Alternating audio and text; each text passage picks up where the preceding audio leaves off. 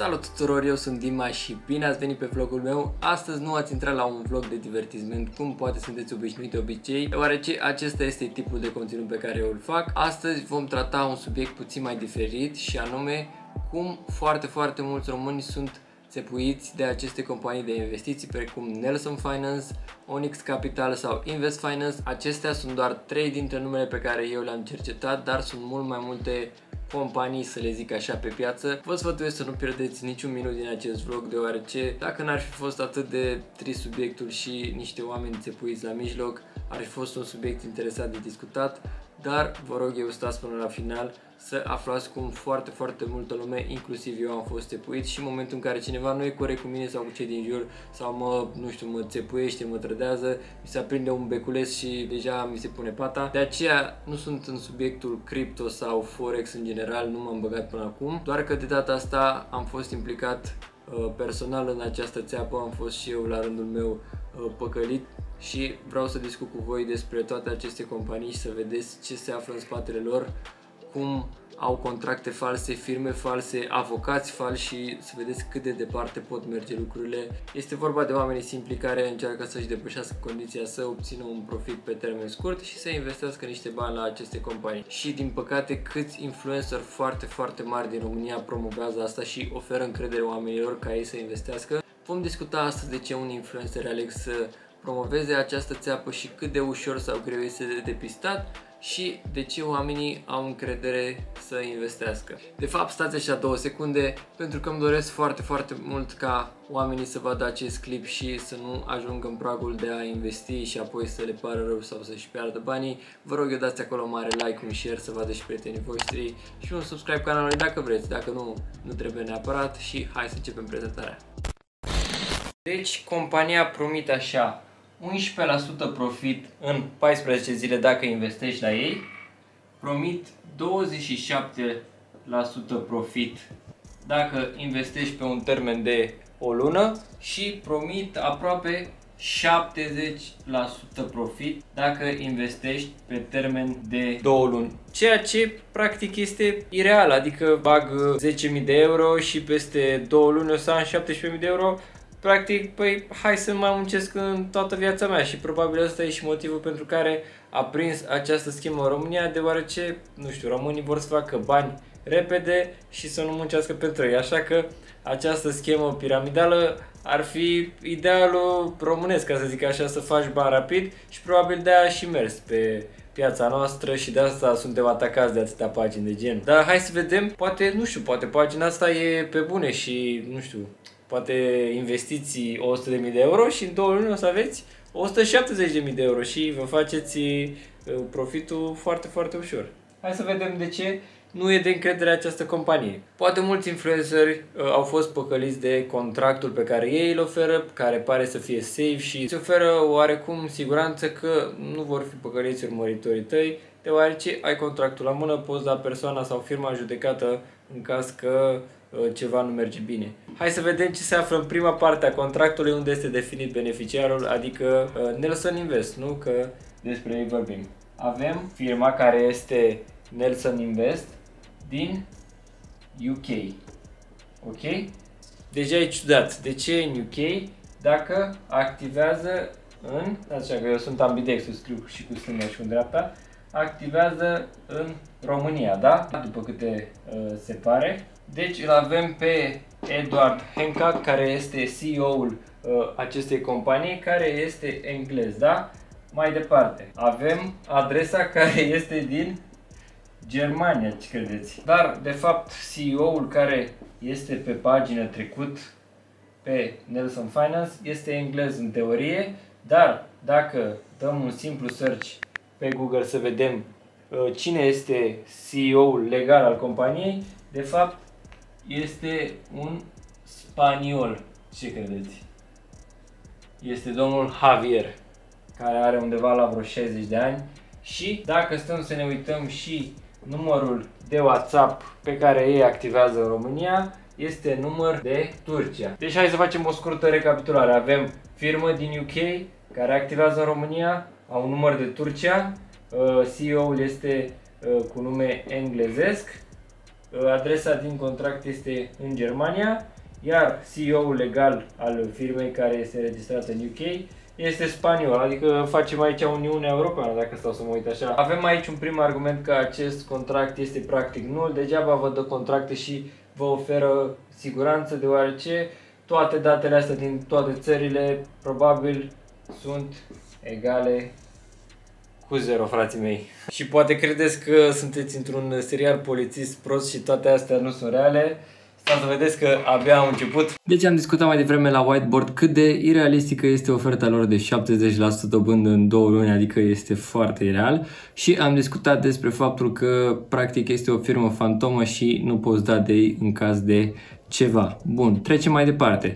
Echipa fake. Deci se zice că uh, CEO-ul este Edward Hancock. Iar pe pagina lor, după ce Ciprian Lospa a făcut un videoclip în care, să zic așa, i-a demascat și uh, a și spălat puțin pe jos cu influencerii care uh, promovează Nelson Finance. Ei au șters pozele cu echipa lor, dar ei cred că au o chestie, o pagină din asta de backup care nu se numește Nelson Finance, se numește finance.nelson, în care încă sunt pozele cu echipa lor, care este o echipă fake cu oameni din România, din Rusia, din habar n din ce țări mai sunt din UK și acest Edward Hancock este încă acolo cu poza lui. Dar ulterior am aflat că uh, această poză este de fapt al unui trader din Rusia, nu din UK. Ei i-au furat identitatea, ca să zic așa, și dovada este că acest Mihail Misco, care este traderul uh, rus, a postat el pe pagină că Nelson Finance este un schem și i-au furat identitatea folosind poza lui. Dacă nu credeți că Instagramul este real, scrieți Mihail Misco pe Google și vă va da poza lui care este folosită de Nelson Finance drept Edward Hancock. Bun și hai să vedem teoria conspirației din spatele acestei chestii, cum uh, ei au reușit să atragă atenția și încrederea influencerilor și oamenilor în general. Bun, în primul rând au venit cu acest certificat de licență în managementul finanțelor, care într-adevăr este o firmă deschisă în UK de management finanțe, care probabil nu este cea care activează în România, nu au ales numele la întâmplare, de exemplu Nelson Finance, uh, care este firma Nelson Invest, vrea să pară că este Nelson Investments, care este o firmă foarte mare și mai veche. Vă dați seama că numele n-a fost luat la întâmplare, n-a fost luat după Nelson Mondialul. Ei încearcă să copieze firmele mai mari care sunt în afară, să pară că sunt ăia internațional, dar de fapt ei nu sunt. Deci, practic, nu vă ajută cu nimic acea licențiere. Dar cu asta a atras foarte mulți influencer. Ei m-au contactat și pe mine, Într-un final am răspuns pentru că în fiecare zi îmi trimiteau un mesaj, apoi își ștergeau, îl trimiteau, apoi își ștergeau. Le-am răspuns într-o zi, ce fel de colaborare vreți, au spus că vor niște story să le promovez uh, brandul. Le-am spus, aș opta pentru un giveaway deoarece nu e domeniul meu cripto și m-am gândit, bă, la un giveaway uh, dau ceva urmăritorilor mei, nu le promovez serviciu pentru că nu mă pricep, dar le fac niște urmăritori. Au zis că nu vor giveaway, că vor niște story. Ok, apoi am întrebat, e safe pentru urmăritorii mei? Că poate voi credeți că nu știu, influencerii nu țin la integritatea urmăritorilor. Sincer să fiu, nu vreau să fiu ipocrit cu voi, eu cred că unii influenceri chiar nu țin, eu cred că unii pur și simplu au răspuns și au zis vreau atâția bani, fac ce story vreți voi și având în vedere că unele story pe care le-am văzut la influencer au fost motamo cu brieful lor, e clar că nu au pus prea multe întrebări. Eu am vrut să mă asigur că totul e safe. Ca să vă zic așa cum încearcă să câștige influencerul și ce strategie au. Mi-am spus despre compania lor că este internațională, că oferă informații despre cripto, despre investiții și așa mai departe, că oferă contracte fiecărui client, ceea ce mi s-a părut foarte ok și am zis, bă, dacă oferă contracte înseamnă că chestia e legală. După aia m-au întrebat cum vreți să facem contractul, persoană juridică sau fizică? Și am zis juridică și m-am gândit așa, bă, ăștia dacă îmi fac mie ca influencer contract pe firmă, înseamnă că nu e schimb, deoarece un scammer nu face contract pe firmă, adică eu practic îmi promovez ceva, fac contract pe firmă dacă firma e serioasă și uh, eu plătesc mai încolo impozite la stat și așa mai departe, totul legal. Am zis, bă, dacă e schem, nu vor face niciodată contract pe firmă, pe persoană juridică și cu asta oarecum m-au câștigat, că am zis, bă, dacă ceva nu e în regulă cu urmăritorii mei, eu îi voi da în judecată, cam acolo datele firmei, datele CEO-ului și așa mai departe. Date care erau fake, contract care era nul. Am zis, ok, ei vor să le zic oamenilor să intre pe pagină că au pus recenzii și că dețin informații despre cripto și dacă cineva vrea să investească, le oferă contract. Și am zis, bă, informațiile astea aș putea să le zic. Eu niciodată n-aș posta abuziv să zic, bă, am investit eu 3000 de euro, uitați-vă câți bani am făcut de la ăștia, intrați să băgați bani. Nu. Știu, nu știu, am văzut story de genul în care influenceri au promovat agresiv o chestie de genul și abuziv și nu mi-a plăcut deloc pentru că mi se pare incorrect față de urmăritori. Să eu tocmai ce am început să retrag suma asta de bani. Dacă vreți să faceți bani cu ajutorul lor, trebuie doar să dați un swipe up și de acolo să... Eu am zis că hai că ofer niște informații și oamenii sunt de încredere. La început, când m-au contactat pe mine, că am avut am avut norocul să mă contacteze primul dintre toate paginile create, dintre toate companiile, primul influencer. Și ideea e că ei nu aveau programele astea de 70% profit sau 30% în 30 de zile, de care îmi dădeam imediat seama că e realiste, doar că nu erau atunci, pur și simplu îi postau informații despre cripto și atât. Nu știam cum stă treaba. Faptul că nu m-au pus să zic că, bă, intrați că aveți profit garantat și faceți nu știu câți bani, chestia asta mi s-a părut, bă, oamenii sunt ok, încearcă doar să ofere informații despre cripto. Bun, am făcut uh, două story apoi mi-am dat seama că ceva nu e bine, pentru că a doua zi sau a treia m-a căutat Invest Finance, apoi Onyx Capital și toți au aceeași abordare, toți vorbeau la fel și am zis, bă, stai așa, ceva nu e bine, toți au firmă din UK, hai să investighez un pic. Era o grămadă de influenceri care promovau uh, Nelson Finance, o grămadă care promovau Invest Finance, totul începea să bubuie, având în vedere că eu nu am zis intrați să investiți, că faceți nu știu câți bani, ceea ce mi s-ar fi părut ireal oricum, adică n-aș fi avut textul ăsta niciodată, Uh, nici nu mi-a scris nimeni să mă jure că a investit, adică sper că n-a investit nimeni și uh, cred că așa și este. Dar au apărut după poze cu mărciulor, totul a început să bubuie cu Nelson Finance și le-am scris, băi, vă rog eu ștergeți în reperele pentru că nu mi se pare ok, nu cred că firma este legit pentru că le-am oferit acolo niște argumente. Ei au zis că nu, nu putem să le ștergem, că trebuie să vorbim cu directorul de imagine și așa mai departe. Și am zis, bă, pot să fac asta legal, pentru că eu am uh, persoana care a făcut transferul bancar și văd că este român, adică un român în spatele tuturor chestiilor ăstora, v-am spus, cu atâtea țări. De fapt e un român în spate și eu am numele lui și pot să îl trag la răspundere. Vă dați seama, mi-au șters reperele. Deci cam asta Cam asta a fost rapid povestea cu cum am luat eu țeapă de la ei. Practic, faptul că ei mi-au făcut un contract pe firmă și m-au păcălit să cred că totul e safe. Asta e tentativă de înșelăciune, deci chiar e o infracțiune reală și vă voi spune mai încolo ce alte infracțiuni au făcut și Invest Finance pentru că au apărut cu niște avocați fake care făceau anchete pe Instagram, deci e un deliciu conversația. Vă rog eu românesc pe vlog să aflați tot despre ce s-a întâmplat și cu Invest Finance și nu înțeleg de ce niciun influencer nu vorbește despre ce se întâmplă, de ce niciun influencer nu spune că este un schimb și că și ei sunt păcăliți. Poate unii se complac în situație și cum fac o postare, Nelson vine și îți mai zice, hai, îți mai dau bani să mai faci una. Ideea e că, nu știu, mi-au spus să fac și eu poză cu tricoul lor, să-mi dea 3000 de euro sau alte postări, că vor 3 story pe săptămână. Am rupt orice chestie cu ei, n-au vrut să-i mai promovez. Poate, nu știu, dacă intrați și la ei și la alții care promovează astfel de servicii, vedeți că revin de mai multe ori și fac mai de mai multe ori story și poze și așa mai departe. Eu m-am țepuit odată, n-aș mai face asta în viața mea. Sper că n-a investit uh, nimeni de la story meu și uh, nu prea cred pentru că nu n-am ademenit oamenii să intre pe pagină să investească, pur și simplu am zis uh, să intrați să aflați informații și că oferă contract și că uh, au postat review-uri de la clienți. Bun, ideea e că eu am postat și m-am țepuit fix la început când aveau foarte puțini urmăritori. Lucrurile după au bubuit, ei au ajuns la 50.000 de urmăritori și celelalte pagini la fel de mult au atras influencer cât mai mari și în ciuda faptului că ei acum postează programele lor de dobândă de 70%, influencerii încă acceptă să facă colaborări cu ei și îi sfătuiesc pe toți care se uită la acest clip să ștergeți toate colaborările.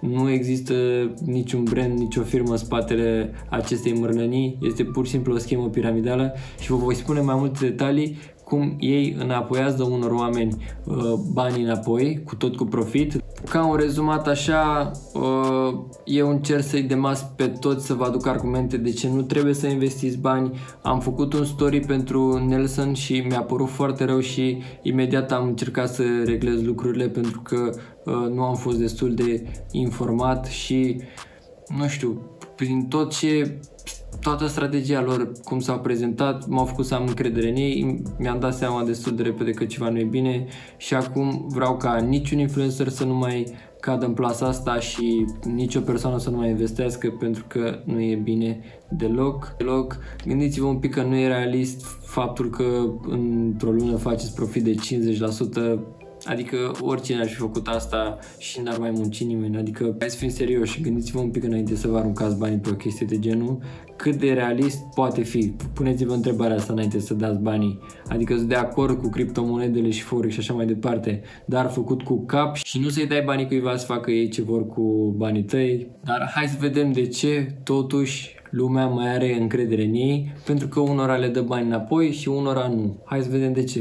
Bun, avem nevoie și de un punct de vedere juridic, să zic așa, și intrăm acum cu domnul Adrian Călin Cuculis pe conferință să vedem ce părere are domnul avocat despre ce fac aceste companii de investiții și să vedem ce putem face dacă suntem, uh, nu știu, păcăliți sau uh, am fost trași în țeapă de o companie de genul. Ok, bun. Uh, bună ziua, domnule Adrian Cuculis. Îți vă mulțumim pentru prezență aici pe blog. Eu îți mulțumesc pentru invitație. Deci, uh, hai să vă prezint așa un pic situația. Pe piață au apărut mai nou, de vreo câteva luni, niște așa zise companii de investiții care promit oamenilor, nu știu, profituri, de exemplu, de 50% uh, într-o lună jumate sau 70% în două luni, ceea ce, la prima vedere, vă dați seama, este ireal, că așa n-ar mai munci nimeni. Uh, bun. Ideea e că aceste firme vin, nu știu, cu niște chestii de încredere, oferă niște contracte care aparent după ce am investigat un pic contractul, este foarte fake, deoarece v-am dat acolo un draft. Este o companie din Anglia, toate sunt din Anglia care păcălesc oamenii. Deci toate sunt din Anglia. Uh, avem acolo adresă din Germania, nume englezesc de CEO, uh, dar de fapt, dacă îl verificăm, uh, dacă verificăm compania este CEO spaniol, uh, activează în România și au un număr de Turcia pe WhatsApp care vorbesc cu clienții. Deci, cu ce ne confruntăm aici? Bun, hai să, hai să spun așa niște chestiuni din, uh, din background-ul activității mele. Uh, treaba asta cu țeapa pe internet, să știi că nu este ceva nou, ai descoperit-o tu acum, probabil te-ai lovit de ea când cineva ți-a dat un mesaj probabil și ți-a spus uh, dacă nu cumva vrei să câștigi un milion de euro dacă investești, nu știu, 50 de lei. Eh, mai sunt, eh, mai e un alt tip de țeapă, niște persoane care vin și spun așa, dacă vrei un împrumut, uite, eh, noi suntem foarte serioși, putem să-ți oferim fără garanții și 100.000 de euro, lucru care oricum este interzis, practic nu-ți dă nimeni 100.000 de euro fără garanții să plecăm de aici. Da. Și am și eu asemenea conversații, să știi, precum cele pe care mi le-ai prezentat tu, doar că pe ce se bazează țeparii ăștia? Se bazează că poporul român este un popor needucat din punct de vedere al educației financiare, mă refer aici, și Uh, sigur că dacă vede românul un contract are senzația că gata, este super legitim și lucrurile chiar așa stau, pentru că cumva și media să știi că a încurajat treaba asta. Uită-te puțin la televizor, sunt tot felul de reclame cu împrumuturi online de 500 de lei, de 1000 de lei, de 100 de milioane și așa mai departe. Deci treaba asta cumva este Uh, generată de fenomenul, uh, dacă vrei, asupra îndoctrinării populației că își pot lua credite cu dobânzi zero, deși multe dintre ele sunt niște reclame absolut false. Treaba asta pe care mi-ai prezentat-o tu, chiar dacă nu are legătură 100% cu împrumuturile, ci cu oportunitatea de investiție, eu vreau să-ți aduc aminte și să le aduc aminte și celor care se uită la materialul nostru că există companii de investiții care uh, marketează și care uh, fac investiții în piața Forex. Piața Forex, atenție, nu este o piață reglementată. Deci dacă te contactează un uh, broker și îți va spune, uite, eu am super experiență, ceva genul lupul de pe Wall Street și o să-ți spună, dăm 5.000 de euro pentru că, uite, eu îți aduc uh, 10.000 de euro, este posibil chiar să-ți aducă aia 10.000 de euro, după care o să spună bagă-mi ăștia 10.000 de euro că ți-aduc 15, după care o să te forțeze cumva să pui 50.000 și dispare cu banii tăi. Atenție, piață nereglementată, sunt dosare penale deschise pe tema asta. Deci oamenii ăștia încep să devină foarte persuasivi pentru că îți prezintă un contract, vorbesc cu tine pe, pe WhatsApp, practic de pe un număr care ar putea să fie chiar legitim, doar că îți dai foarte ușor seama de treaba asta și o să le spun și celor care o să uită la tine, ia încercați să-i sunați să vedeți dacă vă răspunde cineva. De cele mai multe ori de cele mai multe ori nu o să-ți răspundă nimeni. Situație identică și la țepele tale, și la asta de a era să-mi o iau eu, și la uh, cei pe care îi reprezint. Uh, mai sunt niște tipuri de țepe, că dacă tot vorbim de țepe, nu are sens să ne rezumăm doar la asta pe care ai zis-o tu. Uh, ai câștigat, nu că ai câștigat, ai nu știu ce moștenire de la o rudă decedată prin, uh, eu știu, America uh, și îți prezintă un certificat de moștenitor și spune, uite, aici trebuie să trecem numele tău, de fapt nici habar n nici măcar nu știu cum te cheamă, dar trebuie să ne trimiți niște bani înainte, o porcărie de genul ăsta. După care dacă oamenii ăștia văd că tu le trimiți prima dată niște bani, ă, devin agresivi și te amenință că o să trimită după tine poliția, că nu ți-ai îndeplinit obligația. Atenție, nu e nicio obligație aici. Obligația este să vă abțineți să trimiteți bani aiurea, Bunica mea a fost implicată în metoda accidentul și uh, adică țepele astea se dau și din pușcării, adică de asta nici nu se poate răspunde, pentru că nu poți să-ți închipui că în celulă să vorbească la telefon. Deci, uh, hai să, să, să învățăm puțin cum să se protejeze. În primul rând, un document oficial poate fi destul de ușor verificat. Un document autentic trebuie să poarte numele persoanei care l-a autentificat, adică a notarului. Dacă e un document certificat, trebuie să poarte numele avocatului cu toate datele de identificare și oricând poți să dai un telefon, alo, documentul ăsta e de la tine și notarul sau avocatul îți va spune dacă e așa sau nu. Orice fel de persoană care se ocupă, care are, de fapt ăștia sunt niște broker, cam așa ar trebui să fie, da. ei sunt înregistrați și trebuie să funcționeze în mod legal, trebuie să-i găsești cum găsești avocatul online pe, pe tabloul avocaților și imediat poți să ajungi la el, adică e public Așa și brokerii ăștia, nu sunt niște unii ascunși în niște uh, uh, găuri în pământ pe care nu-i găsești nicăieri.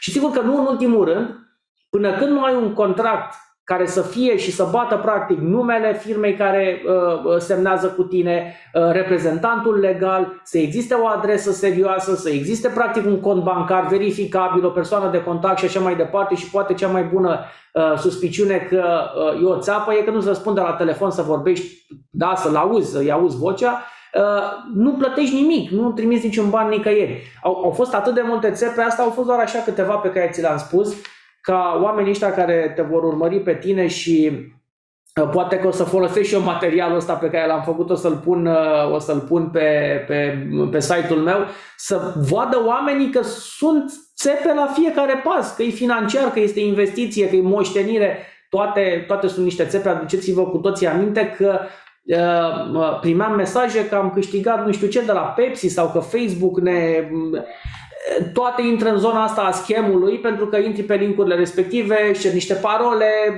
totul este de fapt o mare, mare, mare, mare fraudă. Așa e și eu le-am spus că e de mas pentru că mi-am dat seama că totul nu e bine, ei au vrut să colaboreze cu mine. Așa că mă caut acum cu niște avocați falși. Avocații caută pe Instagram. De fapt, mi-au spus că este judecător de instrucție și nu cred că există în România judecător de instrucție, dar oricum judecător nu cred că face anchetă pe Instagram. Mă hărțuia, le dădea prietenilor mei mesaj, dați-mi date despre Ionus Dima, că vrem să facem o anchetă. Deci ei fac anchetă pe Instagram. E posibil așa ceva?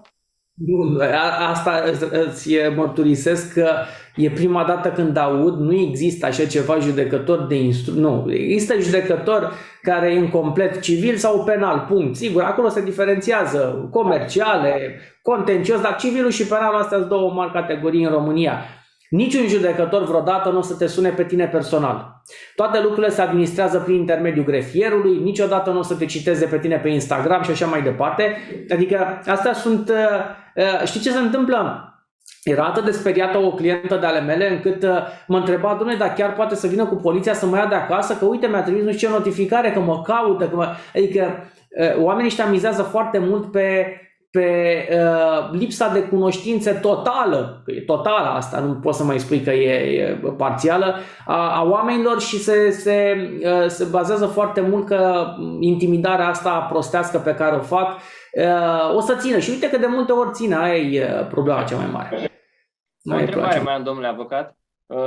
Uh, ce poate face cineva care a investit bani, după aia i-au dat profit înapoi, a doua oară a investit și mai mult și a rămas fără bani, firma s-a închis, pagina s-a închis? Bun, toate se, se subsumează în zona infracțiunilor de înșelăciune. Chiar dacă prima dată ți-a dat 2 lei ca să-ți capteze atenția și interesul, ulterior s-a soldat-o printr-o înșelăciune și de fapt uh, schema asta a fost ca să, să, să vadă că de fapt ești super ok și că ai prins încredere. Am pe cineva care a pierdut în zona asta 100.000 de euro, uh, mai am pe altcineva de, de câteva zile cu o criptomonedă destul de scumpă, a pierdut 200 de mii de euro, deci astea toate se încadrează în zona uh, falsului, uh, până la urmă înșelăciunii și, mă rog, țepelor la modul general pe, pe internet. Dar ce poți să faci în cele din urmă este, și ce este un sfat pentru toți, dacă n-ai picat în plasă și n-ai apucat să scoți banii din buzunar, părerea mea este că ar trebui să depui o plângere penală măcar pentru tentativă. Adică, dumne, avem poliție, o plătim, hai să facă ceva, da? Infracțiunile astea se tratează și se investigează uh, transfrontalier. Adică nici de cum nu o să se trateze doar aici în România, pentru că sunt sigur că sunt niște conturi în afară, sunt niște oameni plecați, poate sunt chiar în pușcărie la noi și co- colaborează cu alții din afară, nu avem de unde să știm. Deci depuneți o plângere chiar dacă n-ați apucat să fiți păcăliți. Iar dacă ați apucat să fiți păcăliți, sigur cu atât mai mult se justifică depunerea unei plângeri pe înșelăciune și Treaba asta ar trebui să o preia, uh, cred eu că e o chestiune deja de DICOT pentru că e pe grup infracțional. Bun. Mulțumim, domnule avocat, pentru că v-ați răpit din timpul dumneavoastră prețios să intrați aici cu noi pe vlog. Sper să-i ajutăm pe toți cu informațiile astea. Doamne. Mulțumesc și eu. Salut. Mulțumesc încă o dată și să aveți o zi bună. Bun, hai să facem o scurtă analiză la ce a spus domnul avocat. Pentru că și dânsul a spus că poate unii din ăștia de la Forex zic că îți dau 10.000 de euro înapoi, ți dau prima oară apoi, bagi acei 10.000 și pleacă cu banii tăi. Ei bine, de ce foarte multă lume are încredere, de exemplu, în Nelson Finance? Eu cunosc un urmăritor care m-a contactat că a băgat bani la ei și în prima fază a spus că e schem și după aia a spus că sunt de încredere. Am vorbit cu el să văd despre ce este vorba și ce credeți? Prima oară a investit o sumă mai mică de bani, i-au dat bani înapoi cu profit. Apoi a mai investit o dată, i-au dat bani înapoi. Acum s-a mărit perioada. Um, ce fac aceste companii? Uh, iau încrederea clienților, ei strâng foarte mulți bani la, de la foarte multă lume, eu cred că vorbim aici de la toate companiile astea trei de care am vorbit, de o fraudă de peste un milion de euro, vă zic din tot sfătul eu, acolo cred că se ridică prejudiciu și practic ei strâng bani să aibă buget, mai dau bani înapoi fiind sigur că gândirea românului e că vrea și mai mult, iar apoi suma pe care eu o primesc o investesc chiar și se strânge o sumă foarte, foarte mare de bani, probabil în criptomonede, pentru că nu cred că țin sumele astea de bani pe conturi. Și hai să vă zic cum stă treaba. Bun, avem aici influencer și avem aici client care investește un influencer să zicem, uite, pe mine m-au păcălit, am făcut două story chiar dacă nu am îndrumat oamenii să investească și le-am intrat că sunt recenzi și așa mai departe și vă face contract. Să zicem că uh, de la mine au intrat de la ei pe pagină, nu știu, câteva persoane, le însumăm așa. Uh, pagina era la început, eu nu le-am zis investiți că și eu mi-am investit banii și așa mai departe. Nu știu, mie nu mi-a dat nimeni mesaj că a investit și a pierdut banii, să zicem că, na, nu a investit nimeni. Dar, avem aici client care investește banii. Avem un client. Bun. Ideea e că dacă un client investește o sumă relativ mică de bani și o primește înapoi cu profit, el se va bucura foarte mult că a făcut banii ăștia ușor și aici stă problema fraților. El va recomanda la foarte, foarte multă lume, pentru că aceste companii se bazează mai mult pe încrederea celor care bagă bani și apoi recomandarea lor. Înțelegeți? Adică dați voi vina pe influencer că, uh, nu știu, promovează și uh, așa mai departe, bagă lumea banii. Dar cine vede un story pe Instagram și investește o sumă mare de bani? Eu sincer nu cred că se întâmplă așa ceva. Dar oamenii care promovează exact ca și cum te-ai dus la frizer, mă atunci bine zic și lola și lola și lola. Să zicem media vorba, mergi mult mai mult pe încredere pentru că vezi rezultate. Așa sunt și la acești clienți care și-au un profit înapoi și anunță mai departe toți prietenii ca să vină să-și ia și ei banii. Și apoi și ceilalți prieteni. Dacă își primesc profitul, anunță și ei ceilalți prieteni. Și aici, nu știu cum să vă zic, este o mafie mult mai mare decât aici un influencer care promovează și văd câteva persoane, probabil nu are foarte multă încredere uh, în influencerul acela persoana și nu, nu va băga bani, să zic așa. Dar, na, mai sunt influenceri care nu întreabă înainte, nu se documentează și fac o reclamă mult mai mare, lumea are încredere în ei și de acolo încep mult mai mulți să investească. Adică acele persoane care zic, băi, uitați, am investit banii ăștia la Nelson Finance, am primit banii ăștia înapoi. Există foarte multe cazuri de acești influencer pe care îi rog să se oprească. Eu n-aș face asta niciodată în viața mea. Și de ce uh, aceste firme aleg să dea prima oară niște bani înapoi să uh, mizeze pe încrederea oamenilor că vor investi iar? Deoarece românul vrea și mai mult și mai mult și dacă ne uităm la uh, cazul Caritas din 1992 în care un contabil din Brașov a păcălit sute mii, sute de mii de oameni ca să investească bani la el, promițându-le bani înapoi și apoi le dădea profitul, apoi strângea și mai mulți bani și vorbim de un prejudiciu de miliard de dolari. Pe acest principiu de schemă piramidală se bazează și aceste companii de investiții. Mai întâi îți dau un profit înapoi și la un moment dat strâng taraba, închid uh, paginile de Instagram, închid numerele de telefon și pleacă cu toți banii care vor fi foarte, foarte mulți așa că aveți grijă. Dacă nu mă credeți, uitați-vă la cazul Ali Capital. A fost o pagină pe care au promovat-o foarte mulți, nu știu, influenceri din zona asta de manele și așa mai departe. N-am nimic cu ei, doar că a investit foarte multă lume bani și acum este o pagină pe Instagram care se numește Ali Capital Schem și acolo arată conversațiile celor care au rămas fără bani la sfârșit și treaba asta cam nasol. Pentru că așa promiteau și ei, dădeau și ei profituri prima oară înapoi, dar după Uh, și-au închis pagina și au plecat cu toți, toți banii. Așa că aveți grijă. Bun, deci intrăm acum pe Zoom cu Andrei, care este un programator. A fost contactat de către Nelson Finance să le facă un site al criptomonedei lor sau ceva de genul și vom vedea imediat ce are de spus Andrei despre cele întâmplate. Bun, deci te-am prezentat un pic înainte. Tu practic ești programator sau te ocupi cu ce? Da, sunt programator, sunt web developer. Ah, ok. Practic ai fost contactat de către această pagină și ei ce ți-au cerut? Păi inițial au venit cu diverse propuneri. Mai întâi o pagină de prezentare în care să vadă despre ce e vorba, apoi să facă niște cursuri și ultima chestie a fost că vor să facă propria criptomonedă și să le facă un site unde oamenii să intre, să-și cumpere criptomoneda lor, numită criptomoneda Nelson. Asta a fost propunerea. Da. Okay. Bun. Și când a fost momentul în, când a fost momentul în care tu ai ai, ți-ai dat seama că ceva miroase nașpa, adică ceva nu e bine? Păi inițial, în momentul în care mi-au zis că poți să cumpere moneda doar cu transfer din alte criptomonede, dar am zis că ok, hai că asta nu e așa rău. A fost un prim red flag, ca să zic așa.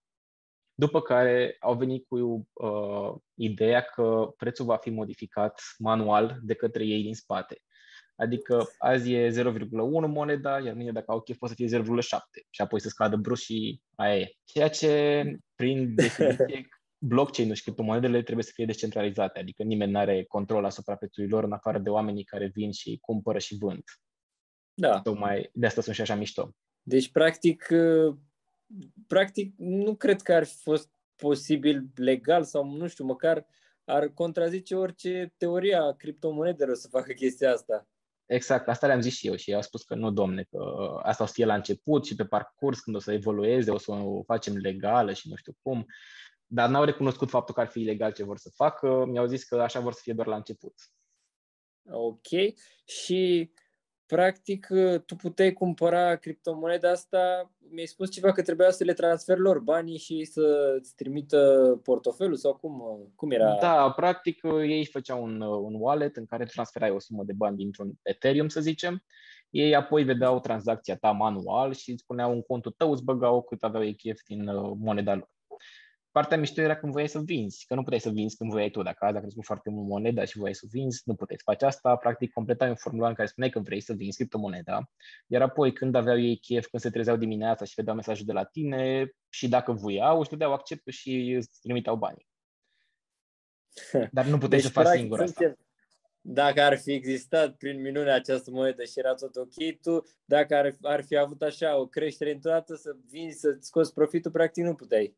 Nu. Trebuia să completezi un formular. Ceea ce, din nou, contrazice regulile criptomonedelor și blockchain. Da.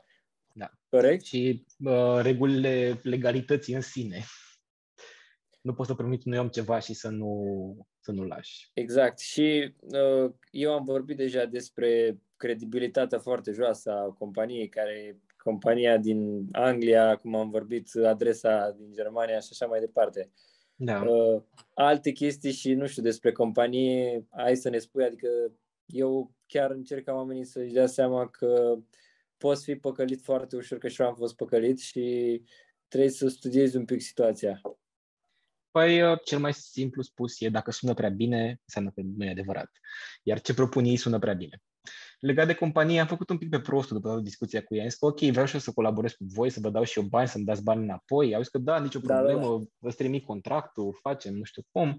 Uh, contractul în sine, în contract nu-și asumă nicio răspundere asupra banilor tăi, chiar dacă îi spun că garantat îți dau banii înapoi. Firma în fine, în sine... un contract cu cine? Că practic este Așa un contract fals.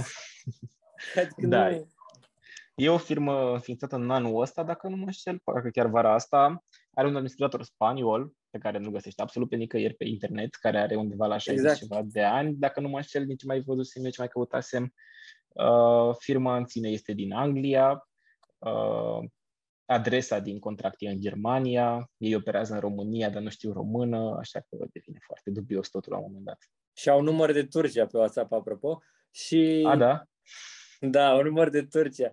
Ideea e că acest Edward Hancock, care el apare ca administrator sau nu știu ce, de fapt are poza acelui rus care este și la un trader din Rusia și din, a spus da. deja pe story că mm-hmm. este furată persoana, personalitatea lui e, și practic contractul pe care îl are clienții practic e nul pentru că nu există într-adevăr ei, ei care sunt în spatele chestiei astea, ridică o firmă din asta, o creează în Anglia, doar pre, presupun ca să apară pe net și să atragă încrederea. Dar în rest nu se păi, întâmplă clar, în mod normal oamenii se cam prind că astea sunt țepe, dar da, când le pui da. și un contract în față și par firmă serioasă, s-ar putea să-i păcălești mult mai ușor. Deci au mai fost înainte pagini despre care o să vorbesc, Ali Capital și alții care au închis, uh, au închis magazinul și au închis pagina și au plecat cu banii.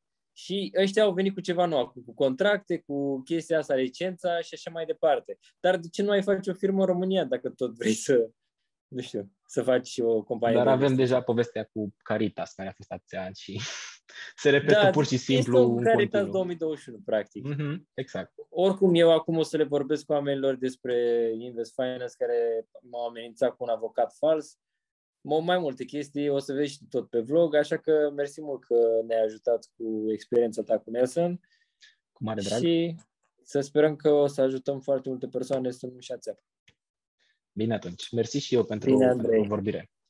Deci acum vom intra și cu Ana Maria Udriște de la avocato.ro să ne dea și ea o părere despre cum pot, de exemplu, influencerii să se apere, să nu mai fie păcăliți ca și la rândul lor ei să nu ajungă să promoveze țepe către oameni.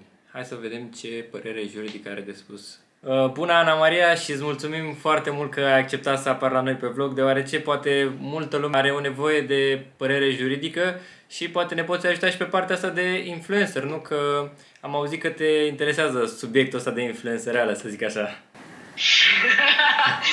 da, mai ales că vorbea, sunt avocat de digital și asta mănâncă tot timpul. Acum, uh, am înțeles de la tine exact care e, care e problema și m-am uitat pe toate documentele respective și toate informațiile pe care le-ai avut.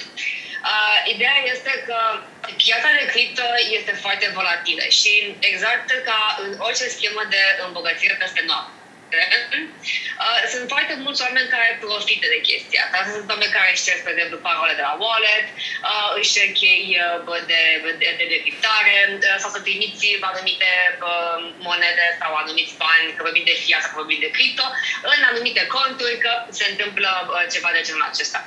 Uh, eu știu că la un moment dat toată lumea vrea să intre în mirajul ăsta și să zică că se va, se va îmbogăți peste noapte, să facă 100 ori, 1000 ori, 20.000 de ori uh, X ca să, ca să ne îmbogățim. Pe de altă parte, trebuie la, trebuie la un moment dat să faci asta din surse sigure. Spre exemplu, uite, eu sunt pe grupul de Telegram și inclusiv eu primesc bă, mesaje din acelea foarte dubioase că, hei, salut, uite, dacă te interesează cripto, am așa o combinație și te pot ajuta să câștigi mai mult sau să ai un comisie mai mare sau să primești o ofertă mai bună la, uh, uh, la toate astea. Uh, însă ar trebui să știi că, na, dacă vă vine de proiecte românești, este mai simplu, pentru că întotdeauna vei avea contact cu fondatorii, adică toate proiectele cu care am intrat în contact până acum mereu erau fondatorii care stăteau acolo și ziceau exact, uh, bă, uite, de aici cumperi, așa cumperi, așa faci KSU, asta e pe care să tranzacționezi, ăștia suntem noi, astea sunt numerele noastre de contact, iar asta cu salut, dăm și mie o adresă de un wallet că se întâmplă ceva, e exact chestia care se întâmplă pe carduri, doar că, na, noi acum, pentru că ne-am obișnuit să avem, să lucrăm cu cardurile, mi se pare ceva de dubios dacă ne-ar spune cineva Salut, Ana, dăm și mie, te rog frumos, tot și ăla de cardul de pe față, după care uh, întoarce și cardul pe spate și dăm și mie, eu, sunt, eu, eu acolo să de trei uh, cifre și de aia am nevoie, că să securizăm tranzacția. Bun, nu se mai întâmplă chestia asta, iar la fenomene de genul acesta, uh, eu știu că e foarte relevant, pe de altă parte nici nu prea ai ce să faci ca să stopezi fenomenul, decât să faci plângere către uh, Divizia de Securitate Cibernetică din România, uh, care în momentul în care au mai multe dovezi pot măcar să blocheze paginile respective, pentru că sunt foarte multe schemuri de genul ăsta pe coinuri și sunt pagini de alea cu 99 care sunt pe undeva stocate. Ei cu cât au mai multe informații, gen mai multe plângeri, vor încerca să blocheze IP-ul pentru România și măcar nu mai dispare din ele. Deci recomand întotdeauna să intrați pe pagina uh, Poliției de Securitate Cibernetică și să faceți o adresă în care să faceți chestia asta. Tocmai, uh, spre exemplu, uh, țepele gen OLX, unde spunea salut, uite, bag aici cardul că avem noi așa o modalitate exact. de livrare. E, e, e exact aceeași chestie, doar că o mutăm în domeniul de cripto, unde e, e, e un pic mai volatil și nu ai traceability. Nici acolo nu aveai, dar ei tot încearcă să, um, să, na, să le mai diminueze, să dea paginile jos și să contracareze tot acest fenomen. Uh, pe de altă parte, uh, eu mi-am un principiu în viață. Dacă ceva uh, e mult prea bun ca să fie adevărat, e simplu ori e ilegal, ori în greașă. exact. Exact. Cam, uh, cam despre asta e. Dacă la un moment dat primești oferte de, băi, uite, facem asta și așa mai departe, mm, da, nu. Și în momentul în care lucrezi în domeniul de influență și vrei să promovezi așa ceva, Uh, gândește-te că aplicațiile genul ăsta ar trebui să fie consacrate și cineva să zică, bă, uite, există cineva în spate și mai departe. De ce? Pentru că tu ca influencer ai după aia mai departe o responsabilitate cel puțin morală față de oamenii care te urmăresc. Și da, știu, ce se pare că e legit, pentru că vin oamenii, mai ales dacă sunt, nu știu, incorporați în Dubai sau în orice altceva și zic, uite, au toată asta din spate. Uh, sincer să fiu, eu una m-aș abține dacă se poate o perioadă, pentru că e un pic mai dubios și, iar, ce puțin zona de crypto, de financial advice sau orice altceva, Uh, trebuie dată cu un pinch of salt și cu multe disclaimere la, uh, la mijloc. De dacă ne uităm și la crypto influencer care na, există, mereu au un disclaimer de la atâta, băi, da. asta e comunitatea, asta facem, asta este aplicația, dar pe de altă parte nu răspund pentru, pentru nimic de genul acesta. Și mai ales uh, întotdeauna pe partea asta să aveți niște contacte super bine puse la punct, uh, pentru că nu știi când cineva îți va face ție personal plângere pentru că l-ai indus în eroare și ai pierdut bani. Chiar dacă se va demonstra ulterior că tu nu răspunzi pentru chestia asta și că n-ai nicio vină, tu să o iei în post de prima oară, știi? Iar de recuperat banii, ce pot să zic? Uh, eu știu că infracțiunea cu cripto, adică uh, uh, acțiunea asta de cripto. Sunt considerate infracțiuni și că asta, dar pe de altă parte pot să vă spun sincer că o uh, chestie de genul acesta, o acțiune penală, o procedură penală, o să dureze și câțiva ani de zile. Uh, este foarte greu să dai de urmă, mai ales când tocmai asta te ideea unui blockchain sau unei adrese de wallet, să nu știi neapărat cine te spate, de unde vine, cum se duce. Uh, și atunci, pe românește, deși știu că nu o să vă placă replica, i-aș pune cruce uh, și aș băga-o la pierde pe care, dacă cumva le recuperăm vreodată, it's nice to have, dar să nu ne punem mai speranțe, ca la Caritas, gen. Adică... Exact.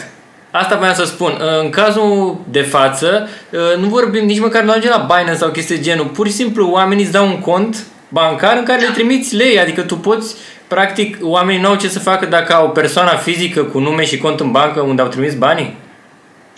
Uh, ba da, de singura chestie pe care o poți face în momentul ăla este uh, uh, ai poate două, uh, două opțiuni, de fapt nu ai două opțiuni, Re- recomand următorii pași. Unul sună la bancă imediat, spui că este acțiune frauduloasă, uh, mai ales dacă este bancă din România. Atenție, nu cumva să fie un vot din afară. Nu. Uh, dacă, dacă sunt conturile din România, cum se întâmplă, atunci obligatoriu să faci plângere la bancă și după aceea se va duce automat la departamentul de antifraudă și suspendă ei conturile. În același timp, ce va face banca? Când banca are suspiciune de fraudă, ea va începe propria ei procedură internă de antifraudă și după aia o va da mai departe către poliție. În momentul în care va da mai departe către poliție, uh, sfatul meu este iarăși să faci tu o plângere către poliția economică sau de securitate cibernetică uh, ca să vezi exact ce și cum. Uh, deci, securitate cibernetică pentru fraudă în sensul pentru că avem o tranzacție pe online, dacă vorbim de transferuri bancare, și plângere normală către poliție pentru uh, înșelăciune și mai departe. Bun. Mai departe, dacă știm exact și persoana care am dat banii, că na, avem un nume, prenume, da și mai departe și banca poate să ne dea uh, aceste informații. Poți mai departe iar să faci plângere, să plângi instantă, de fapt să faci plângere, să faci acțiune judecată și să ceri uh, returnarea banilor pe uh, plată nedatorată sau bogăție fără jută cauză. Aici o să vorbești cu un avocat și să vezi exact ce temei, uh, ce temei alegi.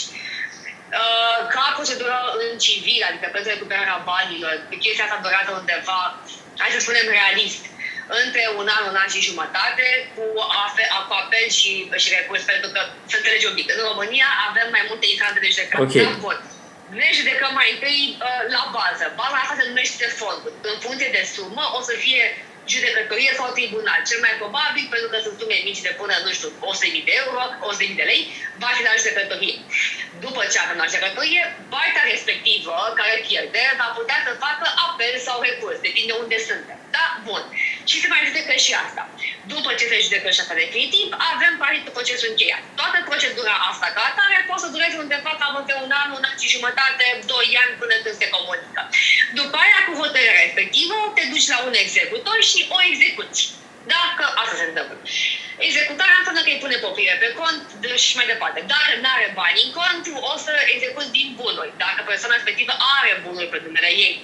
Pe de altă parte, îți dai seama că cine face chestia asta nu face neapărat uh, de prima dată. Adică da, știe omul exact. și ce bunuri are pe numele lui și teoretic până când toată chestia asta se pune în funcțiune, adică până când banca blochează contul respectiv, până când poliția blochează contul respectiv, o parte din bani bă, s-au dus uh, în cripto. Exact, s-au dus definitiv. Și atunci, da, va rămâne procesul penal. Ceea ce vă spun este că e posibil că la finalul celor 2 ani de zile cum se întâmplă în mod obișnuit, efectiv să nu mai ai ce să mai execuți. Și atunci, na, ghinion de neșansă. Dar, uh, ca să nu se ajungă la chestia aia, sfatul meu este uh, întotdeauna fă plângere către bancă. Crede-mă, băncile răspund super mega repede la chestia asta și efectiv blochează. Super, super. Deci, deci asta chiar i-ar ajuta pe cei care au investit. Da. Și dacă discutăm un pic uh, uh, despre faza cu influencerii, gen, uh, chestia asta e un hype atât de mare pentru că foarte mulți influenceri foarte mari au promovat pagina asta de investiții și uite, de exemplu, eu am fost păcălit să fac story, dar am rezolvat repede să șteargă tot și să, să nu mai fiu asociat cu ei, pentru că mi-au oferit un contract și ce crezi? Pe persoană juridică, adică a fost contractul semnat cu firma mea, nu pe persoană fizică.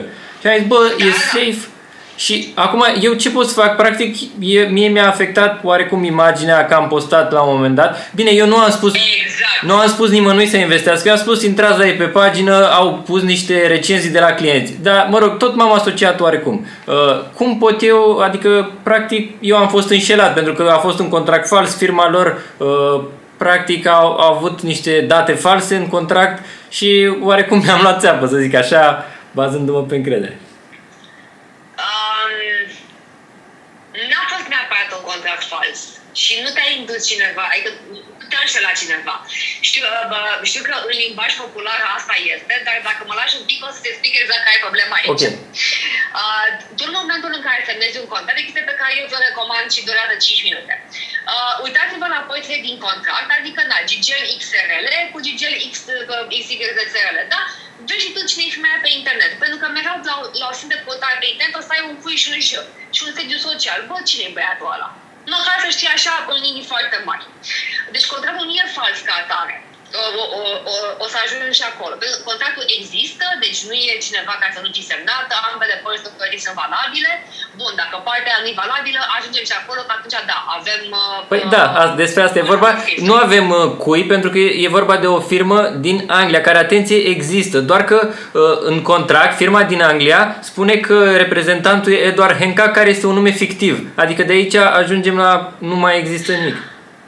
Asta este cu totul cu toată altă discuție. Vezi că asta ziceam. De, da, da, da, ok, ok. Dacă, dacă Edward Hencar nu este o persoană care există sau vezi că e posibil ca în Marea Britanie să existe, dar să fie uh, uh, închisă în spate, adică să nu îți dai seama cine semnează, pentru că poți să ai un, un director pe Marea Britanie ca să nu fie disclosed. Și atunci bă, te duci pe registrul din Marea Britanie și vezi exact bă, bă, unde te situezi. Dar uh, aici, având în vedere că este pe confirmă din Marea Britanie, uh, ce poți face tu, adică na, dacă ai fost din România, uh, ce puteai să faci și recomand este să te duci să îi dai judecată pentru prejudiciu de imagine. Uh, că pe, pe tine, de fapt, aici te-a afectat. Tu, da. ca influencer, uh, tu trăiești în ghilimele de rigoare, adică nu asta și uh, existența ta se bazează pe uh, încrederea pe care comunitatea o are față da. de tine, da? Adică de, ei vin și rezonează cu tine pentru că tu le oferi niște informații veridice și ei se așteaptă că în momentul în care tu le prezinți ceva, tu să fii făcut exact. ce de dinainte. Bun. În momentul în care nu se întâmplă chestia asta, pentru că tu ești de bună credință, dar ei la un moment dat da, vă, se, vă, văd că uh, și-au luat țeapă, se vor îndrepta către tine, pentru că te puțin că tu mi-ai spus, bă, uh, dragă Dima, că e ok să investesc aici.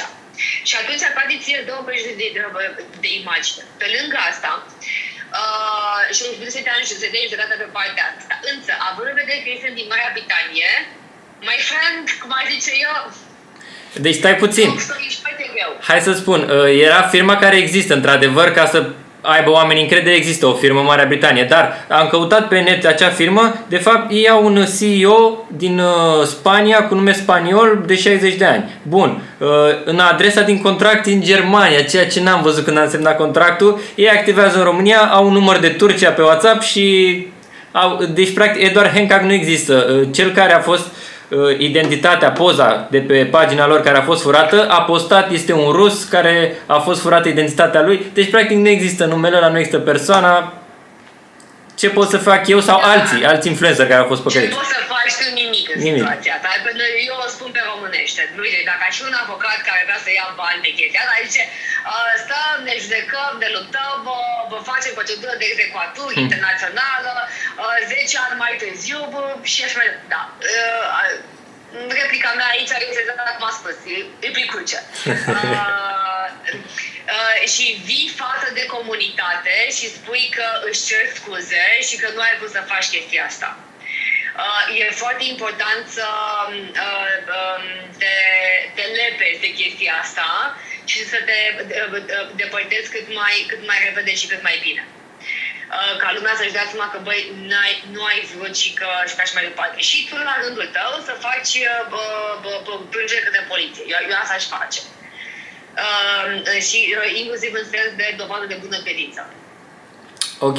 În primul rând, să zicem că iau cazul meu, la mine n-a fost atât de grav, uh, era pagina lor la început, eu nu am spus nimănui să intre să investească, eu n-am primit până acum mesaje de 3 luni că cineva a investit, dar acum, pentru că au făcut foarte mulți urmăritori și au intervenit uh, alți influenceri mult mai mari care, în urma promovărilor lor, au început să investească, de asta am vrut să fac vlogul ăsta, să le spun oamenilor, bă, uite, de exemplu, eu am fost păcălit. Într-adevăr, sunt influenceri care nu interesează, au revenit cu mai multe story la rând și promovări și poze și au, ăștia, da, sunt de condamnat, într-adevăr, pentru că au influențat prost. Ideea este pe lângă, pe lângă faptul că e o problemă de chestia asta, că na, eu, eu înțeleg, fiecare influență trece din comisioane da. și așa mai departe, deci, bă, nu, deci nu poți să zici niciodată că nu se întâmplă una ca asta. Uh, însă uh, ar trebui să ne dăm seama și să conștientizăm faptul că acest fenomen poate să ducă la suspendarea unor uh, Gata. Mai vezi? Da, da, acum da. Scuze. Uh, toate aceste uh, acțiuni ar putea să ducă la suspendarea conturilor de Instagram. Pentru că pe măsură ce îți din ce în ce mai multe reporturi și așa mai departe, e posibil să-ți iei suspendare. Uite, uh, eu sunt un avocat care uh, sunt foarte activ pe social media. Da. În general, acum foarte mult pe, pe TikTok, pentru că uh, na, e, e mult mai bună interacțiune acolo. Da. Primesc foarte multe reporturi inclusiv eu mă trezesc când mi-a că era să-mi dispară link de Instagram, când m-a, între timp și-a revenit aparent, Uh, dar, na, uite, este o persoană care eu nu, eu nu fac influencer, adică eu uh-huh. nu am mhm. contracte ca influencer, deci da. aș dori. Uh, da. Dar, uh, dar nu dau pe chestia asta. Însă pentru cineva care la un moment dat uh, trăiește din asta, să ai un cont cu 250.000 de urmăritori suspendat, definitiv. Asta zic. Și Merită pentru o campanie de genul? Nu, nu, exact asta vreau eu să încerc să explic pe vlogul ăsta și am dovezi că eu i-am întrebat la un moment dat, bă, e safe, i-a dat cu contract, nu știu ce. La mine să zic că s-a rezolvat și n-am avut așa mare impact, dar sunt conturi cu milioane de, de fani care au, nu știu cum să zic, au ajuns să facă chestia asta și nu doar că spun intrați la pagina asta și dați un follow, ca asta să zicem că nu îndemn da, să... Spun, nu, nu, spun și mai mult... Spun am investit, am scos 10.000. Am investit și toate astea, da. da. Și aici uh, ceea ce ar trebui să înțeleagă influencerul respectiv este că inclusiv el se expune pentru că este reclamă mincinoasă. Da. Și uh, influencerul la rândul, lor, la, la rândul lui induce în eroare persoanele, persoanele astea.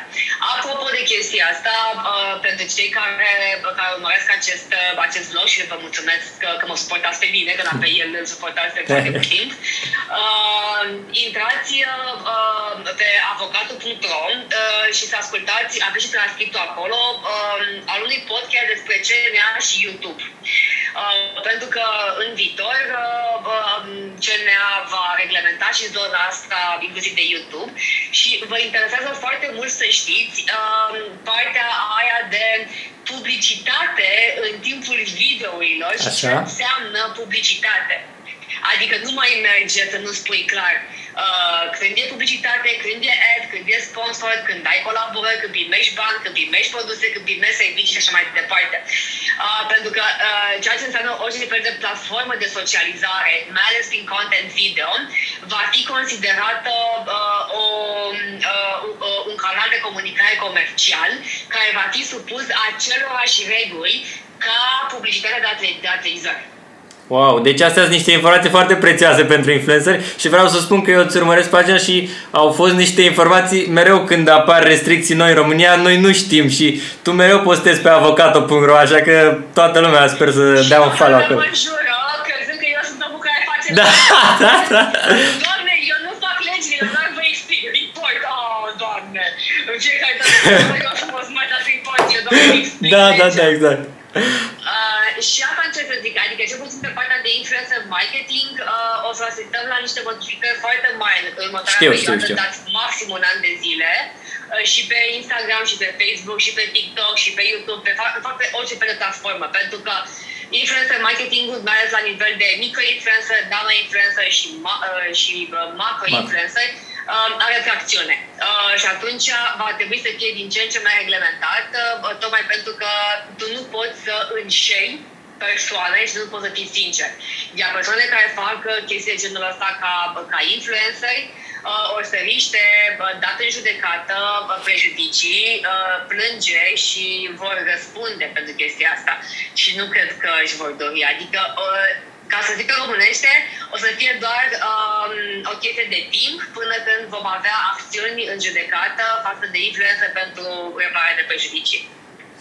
Bun, deci astea sunt niște informații foarte prețioase, Ana, și uh, îți mulțumim și că ai venit la noi pe vlog și ne-ai dat uh, un pic din timpul tău, ca să zic așa. Sper că s-au uitat și oameni care au fost păcăliți și influencer și toți vom avea ceva învățat din uh, această conversație și din tot vlogul, vei vedea și tu vlogul, uh, am povestit toți pașii pe care îi fac aceste companii să atragă oamenii în țeapă și sper că nimeni, nimeni nu va mai investi și totul va fi bine. Îți mulțumim foarte, foarte mult și sunt sigur că toată lumea o să aprecieze și o să-ți urmească și pagina ta de Instagram. Și ce să zic, îți mulțumim uh, că ne ajuți la combaterea schemurilor. Și eu îți mulțumesc frumos pentru, pentru invitație și oricând vrea cineva să-mi scrie pe, pe pagina de Instagram, pe, pe, pe Ana sau pe avocatul.ro și vă răspund cu, cu mai drag. Bine, Ana, îți mulțumim mult de tot. Pa, pa! Mersi, pa, pa! Bun, pentru că am vorbit până acum doar de Nelson Finance, v-am mai menționat niște nume și e vorba de Invest Finance și de Onyx Capital. Am fost uh, în primă instanță contactat și de Invest Finance. Am zis, hai să vă văd cât de departe poate să meargă cu chestia asta și am încercat să intru în jocul lor.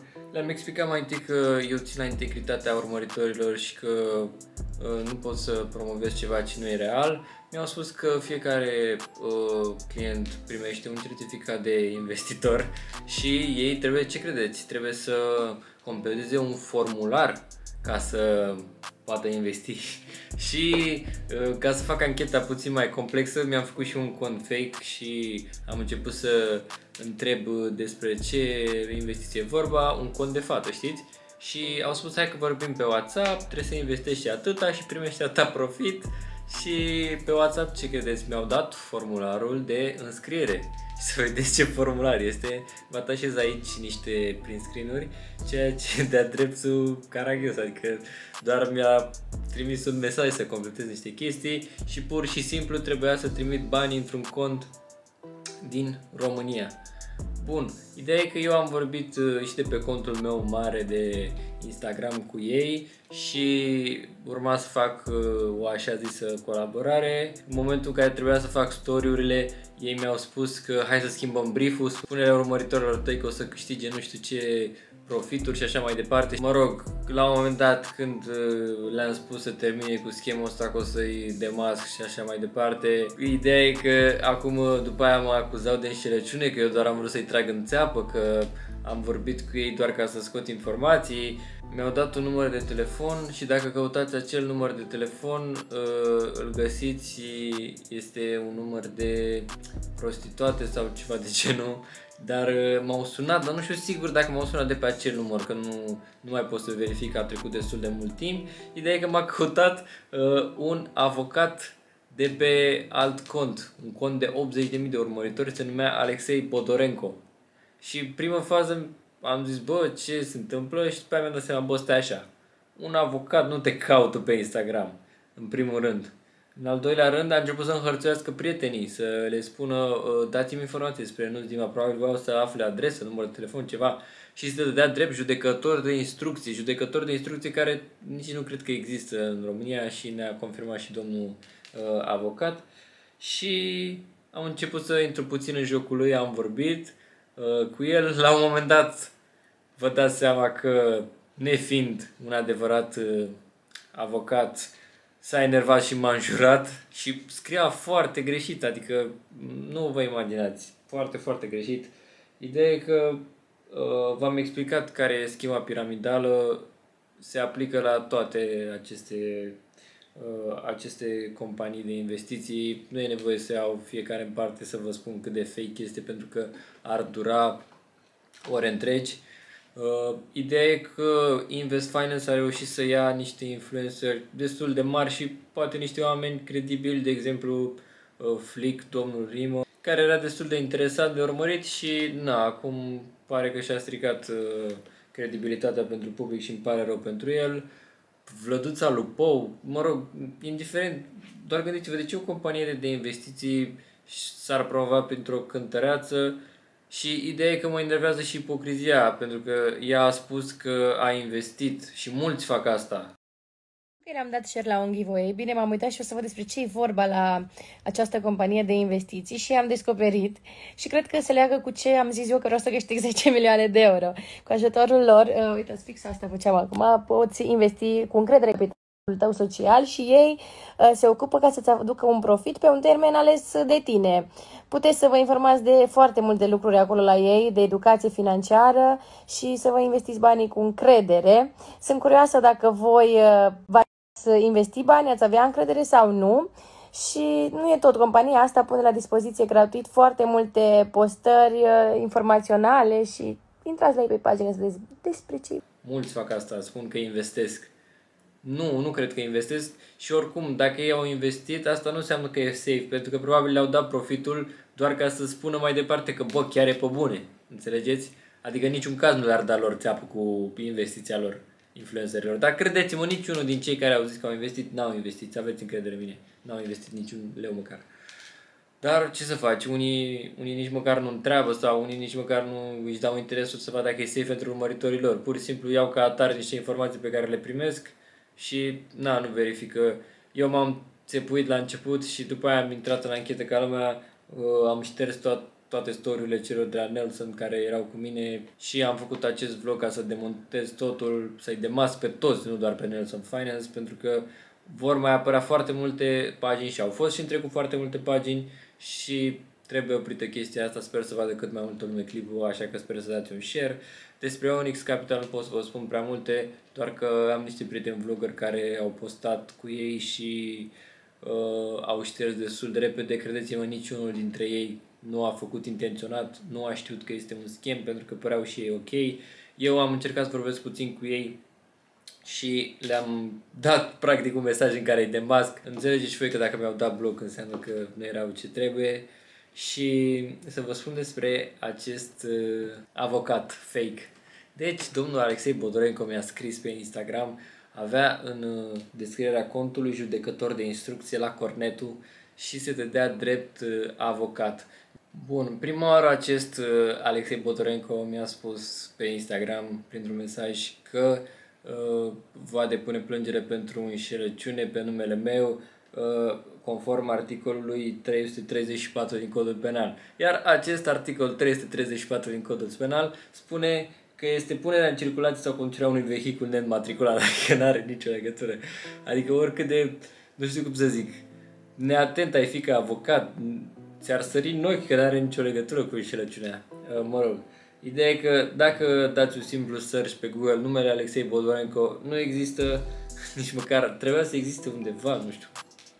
Nu există numele ăsta și foarte mulți dintre voi, poate de frică și din necunoștință de cauză, puteți fi păcăliți de astfel de avocați fake, așa că aveți grijă, aveți aici exemplu meu că la un moment dat m-am jurat la un moment dat, după ce uh, am avut dovada că m-a jurat acest avocat, uh, i-am spus infracțiunile pe care le-a făcut și că voi depune plângere, adică uh, uzurparea de calități oficiale și tentativa de înșelăciune și uh, e o infracțiune destul de gravă să te dai drept judecător sau drept avocat, chiar e gravă chestia asta. După aia, după cum vedeți, și-a schimbat uh, poza de profil, și-a schimbat numele în Andrei Bodorenko din Alexei Bodorenko, iar descrierea din, uh, din pagina lui nu mai există. Așa că se întâmplă la noi în România niște chestii foarte nasoale. Sper că am ajutat foarte multă lume uh, prin chestia asta. Sper să înțelegeți că influencerii nu vor să țepească oamenii. Unii, cum aș fi eu, adică chiar am picat și eu în plasă și am fost credul, să vă zic așa, doar că eram suspicios și imediat mi-am dat seama și am început să dreg lucrurile, sper să înțelegeți toată chestia asta. Și ce să zic, uh, eu n-am făcut chestia asta pentru mine, am făcut chestia asta să-i demas pe toți. Clar că nu pot face un clip despre fiecare companie în parte. Eu pe larg v-am explicat cum stă treaba cu aceste țepe și schemuri. Sper să înțelegeți din asta și să nu mai investiți bani la companii din astea care îți cer efectiv să le trimiți bani în contul lor. Nu e ok deloc. Și ce să zic, a fost un vlog lung, nu știu câți dintre voi au rămas până la capăt, dar lăsați acolo un comentariu dacă a stat până la capăt. Eu am fost Dima și până data viitoare v-am pupat!